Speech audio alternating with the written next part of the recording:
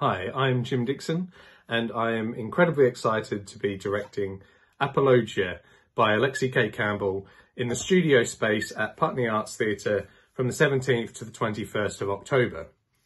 Apologia is a fly on the wall family drama, a very powerful and truthful piece of writing that centres around Kristin, who is a child of the peace and love generation and recently a celebrated art historian who has released her long awaited memoir in which she fails to mention the fact that she's had kids. Both of her sons and their respective partners are on their way to a house to celebrate her birthday, and both of them have a few things that they need to get off their chests. There are six roles in the play, Obviously, Kristin is the centre of everything. She's in her 60s.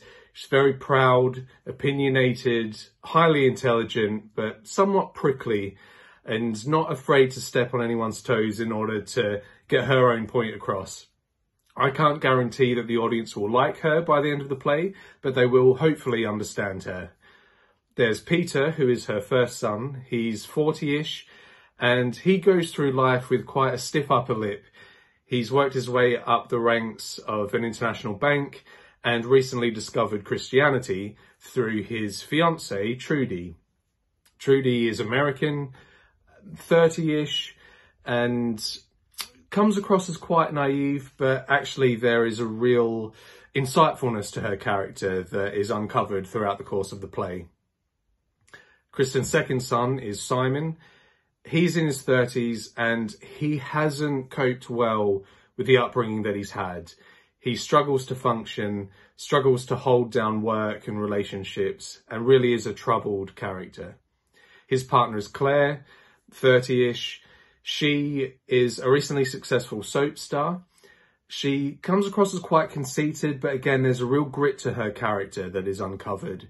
She's a thorn in Kristin's side, and the two of them are quite opposite, but perhaps there's some similarities there that neither of them wants to admit. Finally, there's Hugh. Hugh is in his 60s, maybe early 70s, a mature gay man who is Kristin's most loyal friend, someone who's been with her since their youth. He is fiercely defensive of Kristin, but usually he's the one that's there with a quip or a joke to lighten the mood and act as a peacekeeper between Kristin and whoever else is on stage at the time.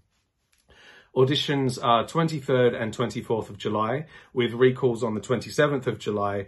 And I cannot express just how good these roles are for any actors.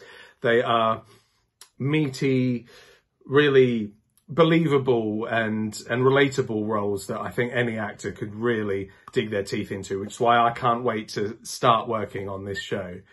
Full details can be found at putneyartstheatre.org.uk and I really hope to see as many of you there at the auditions as can make it.